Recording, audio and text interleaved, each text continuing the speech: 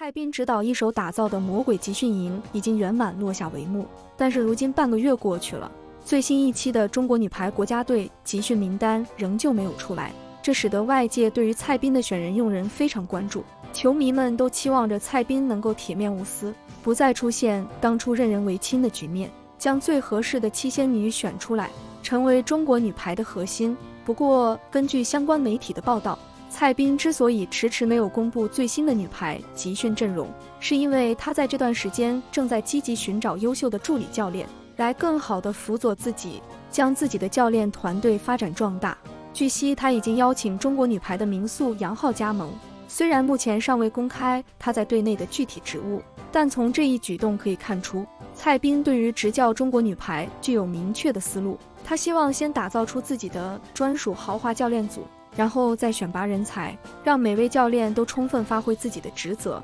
杨昊是二十年前中国女排的主力队员，他还参加过雅典奥运会，并且成功随队夺金。此外，还有亚锦赛、世界杯等重量级的冠军头衔，比赛经验非常丰富。在退役之后，他一直从事与女排教练的工作，目前正在北京航空高校担任主教练。任凯毅就是杨昊一手挖掘并且培养起来的。蔡斌此番邀请他加盟，很显然是希望他继续为中国女排发掘人才，并且培育年轻球员，让他们迅速得到成长。如今蔡斌已经有陈友泉、杨昊作为自己的左膀右臂，可以说配置相当不错。如今随着朱婷手术成功的消息传来，以及女排国家联赛的脚步日益临近，因此距离最终女排集训名单的公布，肯定也是不会太久了。可以确定的是，本次的女排国家联赛。朱婷、张常宁以及姚笛三位主力球员都无法参加，必须要寄希望于李盈莹、刁琳宇、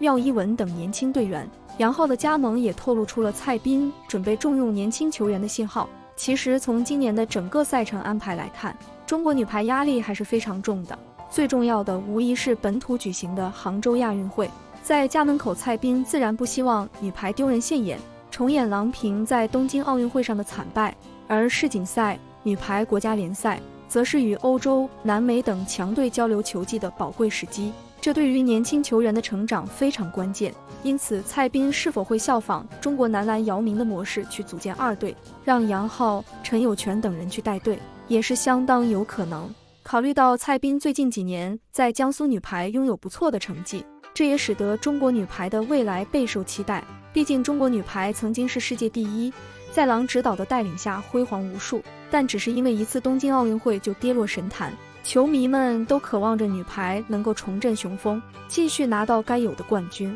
因此，蔡斌肩上的压力也是很大，他必须要每一步都小心谨慎，以防满盘皆输。